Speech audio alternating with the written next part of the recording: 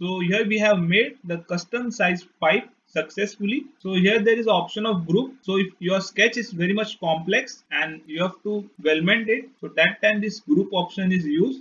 So hello guys and welcome back to our channel Simple Random Knowledge. In today's video we are going to see how to use the weldment option and then we are going to see how to use the trim extend option and at the last we are going to see how to make the custom structural members. So stay tuned and let's start with today's video.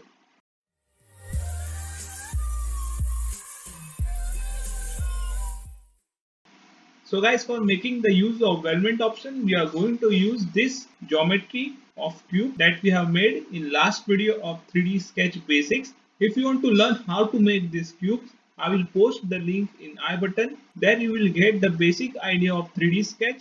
In that you will able to learn how to make this cube. So moving to our topic that is weldments. So here you can see the option of weldments is there. So click on weldments then go to structural members. So this kind of interface will be open in front of you. So here you can select the standard. By default here there are two options that is inch and ISO. So click on ISO so click on the type according to your purpose. I will click on square, then click on the size. And if you see in the size option, there are only limited size given of the pipe. So for making the custom size of the pipe that we are going to see further. So if I select 20 by 20 after selecting this sketch, so you can see this size is too much large. So if you want to make the custom pipe size, open the weldment profile library. So for getting the location of weldment profile library, so click on this options symbol.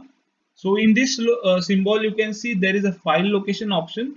So click on file location option. Then here click on show the folder for scroll down and here you will get the option of weldments profile. So click on weldments profile option. So here you will get the location of that weldments profile option. So open this weldments profile folder in your file manager. So guys, after opening this weldments profile folder, so by default these two folders are there in your weldments profile option. We have to add our custom folder. So right click and then click on new and click on the folder option. So name this folder as per your choice. I will name this folder as SolidWorks. So after naming this folder, so open this SolidWorks folder, make a new folder again naming square pipe. So after making the square pipe folder inside the SolidWorks folder, go to ISO, then go to square tubes, then select any of this file, right click and copy this file and paste in this square pipe folder that we have made right now. So after pasting this file, minimize this file manager option, then click on open. So open that new file that we have pasted.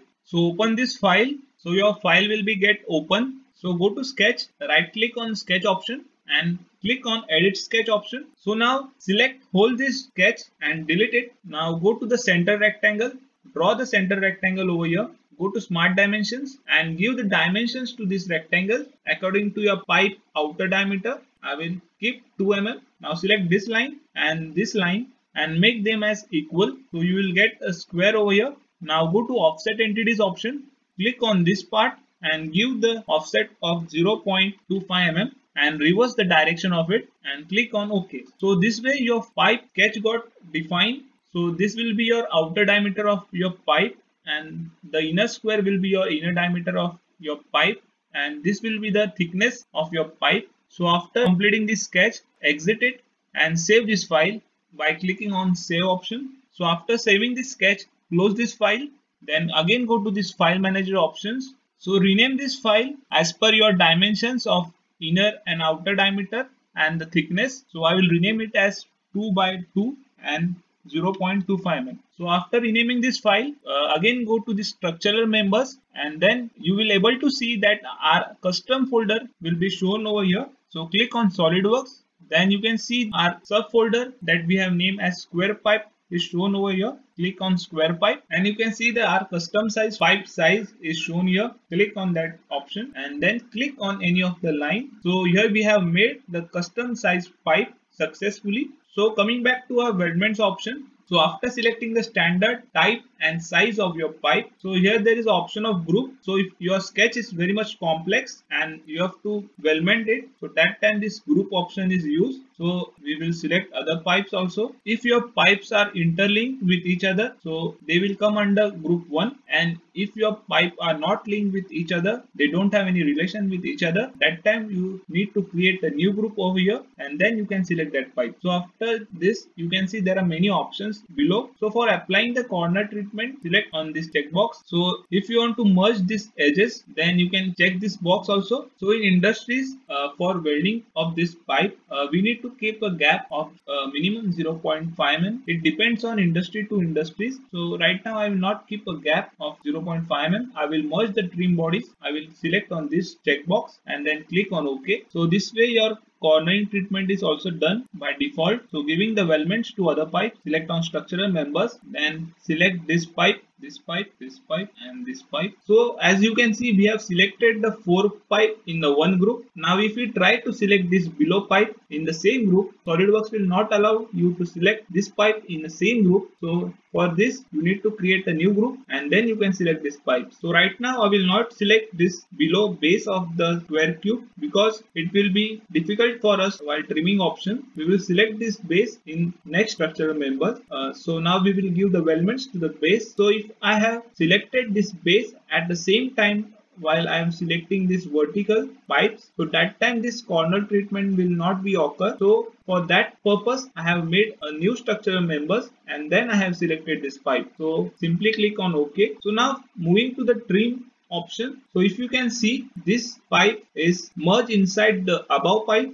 so for trimming this vertical pipes, we go to the trim extend option. Then bodies to be trimmed, we will select these four pipes. So after selecting the four pipes, then there is a trim boundary option. In this, there is a two option that we can select. We can select the face as a boundary or we can select the body as a boundary. So for this situation, so we'll select these bodies and you can see some part of this pipe is still remaining over here. So by this we understand that we can't select this body so we select the face option. So we'll select this below face as a boundary. For all the four pipes we will select this lower face and now you can see there is no extension shown over here. So this way you, according to the situation we select the option of face boundary or a body boundary. So similarly you can see this pipe is merged inside this base pipe. So for trimming that we will select these four bodies and we will try for selecting the bodies as a boundary. If we select this body as a boundary for all the four pipes so here